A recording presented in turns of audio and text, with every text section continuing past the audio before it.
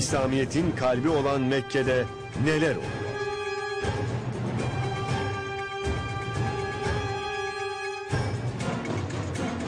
Mekke, New York gibi mi olacak? Kabe gökdelenlerin arasında küçücük bir nokta olarak mı kalacak? Önce Hazreti Hatice'nin evi yıkıldı.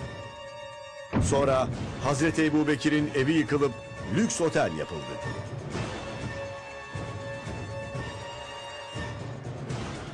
Sıra peygamberimizin doğduğu evde mi? Bu gördüğünüz beyaz kubbeler de Osmanlı eserleri, Mimar Sinan'ın e, eserleri ve e, burada Osmanlı'nın izlerini de görüyoruz aslında Kabe'de.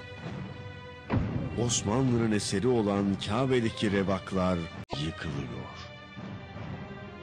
Kabe'deki revaklar neden yıkılıyor? Kabe'deki revakların yıkımında neden Türk işçiler çalışacak? Az sonra hayatın şifrelerinde.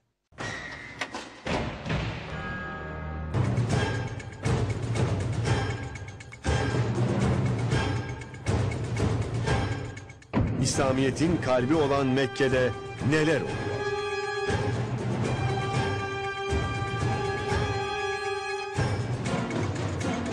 Mekke, New York gibi mi olacak? Kabe gökdelenlerin arasında küçücük bir nokta olarak mı kalacak? Önce Hazreti Hatice'nin evi yıkıldı. Sonra Hazreti Ebubekir'in evi yıkılıp lüks otel yapıldı.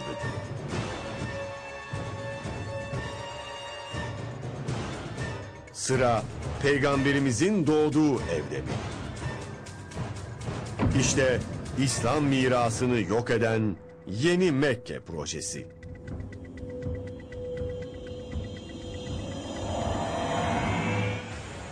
Bu yıl Hazreti Muhammed'in yaşadığı kutsal topraklara umre ziyareti yapanlar ilginç bir manzarayla karşılaştı. İslam dünyasının kalbi olan Kabe'nin dört bir yanı vinçler, beton bloklarla çevriliydi. Her yanı saran gökdelen inşaatları Müslümanları kızdırdı. Biz Müslümanlar niye bu kadar tepkisiziz? Bütün dünya Müslümanları birleşsin. On, sadece Suudların değil, orası Arabistanlıların değil, hepimizin, bütün Müslümanların. Gerçekten hakaretti. Vicdanımız sızlıyor. Gerçekten çok üzgünüm yani. Çok büyük bir saygısızlık. bu tür manevi değeri olan yüksek değeri olan yerlere e, daha çok dikkat etmemiz gerekir. Arkada halen inşaat çalışmaları var burada. E, oteller düzenleniyor, oteller, yeni oteller yapılıyor. Burada çevremizdeki dağları görüyoruz. Yüzyıllardır savaşlara, doğal felaketlere karşı dimdik duran Kabe bu kez bambaşka bir tehlikeyle karşı karşıya. Yeni Mekke projesi. Suudi Arabistan Kralı Abdullah'ın yönetiminde olan Suud Vakfı'nın planladığı Yeni Mekke projesi kafaları karıştırdı. Proje maketlerine göre Kabe'nin etrafı yakın bir gelecekte gökdelenlerle çevrilecek. Mekke adeta bir ticaret merkezine dönüşecek. 14 milyar dolarlık proje Kabe'nin etrafındaki 7 bin bina yıkılacak. Şu anda Kabe'deyiz. Tavaf yapan insanları görüyoruz. Osmanlı Padişahı 2. Selim döneminde Mimar Sinan'a ait projeyle yapılan rebaklar yıkılıyor. Şu anda tam karşısındayız. İnsanlar tavaf yapıyorlar. Hac ibadetlerini, e, umre ibadetlerini e, gerçekleştiriyorlar. Hac ibadetlerinin olduğu topraklarda. Her yıl milyonlarca Müslümanın ziyaret ettiği kutsal mekan Kabe'deki Osmanlı revakları tavaf kapasitesini genişletme projesi kapsamında yıkılacak. Daha çok sayıda Müslümanın aynı anda ibadet yapabilmesi için Suudi Arabistan Kralı Abdullah bin Abdülaziz projeyi onayladı. Revaklar yıkılmadan önce Doktor Ömer Çelakıl Osmanlı izlerini taşıyan eserleri yerinde anlatıyor. Bu kubbeler Mimar Sinan'ın eseri, Osmanlı eseri. Suudi yönetimi Türkiye'nin olası tepkisinden çekindiği için iddialara göre yıkım işlemini Türklere yaptıracak. Bugün gördüğümüz beyaz kubbeler de Osmanlı eserleri, Mimar Sinan'ın e, eserleri ve e, burada Osmanlı'nın izlerini de görüyoruz aslında Kabe'de. Şu anki haliyle Kabe'de 90 bin Müslüman aynı anda tavaf işlemini gerçekleştirebiliyor. Proje bittiğinde hesaplamalara göre 150 bin Müslüman aynı anda Kabe'yi tavaf edebilecek. Çok önemli şu gördüğünüz beyaz kubbeler boy, boylu boyunca her yerde bakın görüyorsunuz. Osmanlı döneminde yapılmış ve e, bizim mimarimizin bir örneği. 40 milyar liralık yıkım projesiyle Osmanlı izleri silinecek mi? 5 Aralık'ta yani Müslümanların yılbaşı olan Muharrem ayının birinci gün denk gelen tarihte başlaması planlanan yıkım işleminde Osmanlı izleri tamamen silinecek. Kabe'nin etrafını çeviren, Kabe yüksekliğini aşmayan kubbelerin yıkım işleminde Türk işçilerin çalışacak olması yine Suudi yönetiminin aldığı bir karar. Burası insanı gerçekten de etkiliyor. Tepkilerden çekinen Suudiler yıkım projesinde Türkleri çalıştırarak iddialara göre tepkileri en aza indirgemeyi planlıyor.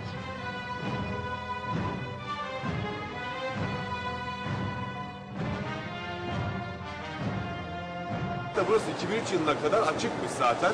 Daha sonra bu tavaf alanını genişletmek için burayı e, kapatmışlar o kuyuyu ve e, esas olarak şu yan taraflarından orada zaten zemzem çeşmeleri görüyoruz.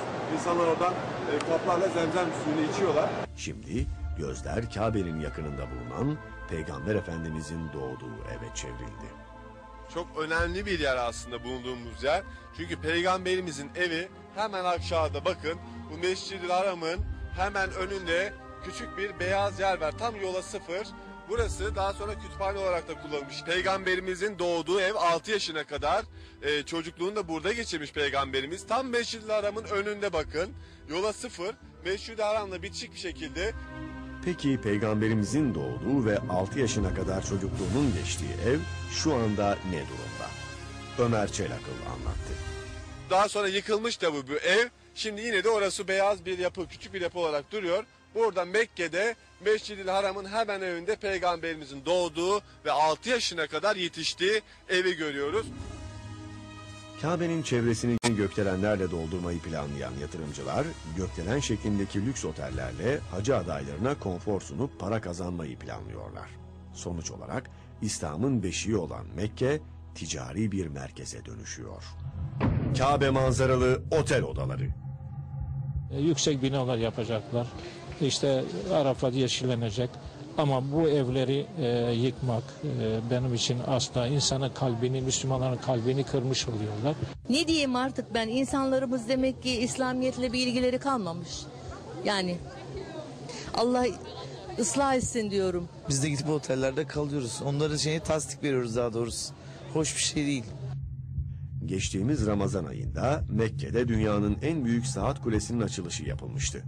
Görenleri hayrete düşüren kule Londra'daki Big Ben'den 6 kat daha büyüktü. Ayrıca Mekke Saat Kulesi Oteli kapsamında inşa edilen yapı Dubai'deki Burj Khalifa gökdeleninden sonra dünyanın en uzun ikinci binası.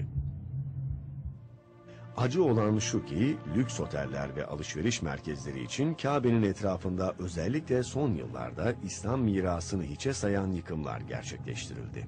Arkeologların verdiği bilgiye göre Suudi Arabistan'da 80 yıl içinde 300'e yakın İslami yapı, buldozer ve dinamit kullanılarak yıkıldı. Hazreti Hatice'nin evi yıkıldı. Hazreti Muhammed'in ilk eşi, İslam dünyasının anası olarak da kabul edilen Hazreti Hatice'nin evi ne yazık ki korunma evi yıkıldı. Hazreti Muhammed'e ilk inanan ve ilk halife olan Hazreti Ebubekir'in yaşadığı evde yıkılıp yok edilen İslami miraslar arasında. Ebubekir'in evinin yerine 31 katlı, 1300 odalı lüks bir otel yapılmıştı. Onu isteriz ki aynı Ee, önceki Resulullah'ın zamanında Hazreti Be- Bekir'in zamanındaki bir kalsın. Yani bu acı şeyleri duyunca gerçekten yüreğimiz burkuluyor. Yani bunlara tepkimizi koymamız gerekiyor diye düşünüyorum. Çok acı bir şey yani. Aslında Müslümanlığa hiç yakışmayan bir şey. Hazreti Muhammed'in evi otopark mı olacak? 10 yıl içinde tamamlanması planlanan proje bittiğinde Mekke'yi kimse tanıyamayacak. Kabe'nin çevresi tamamen değişmiş olacak.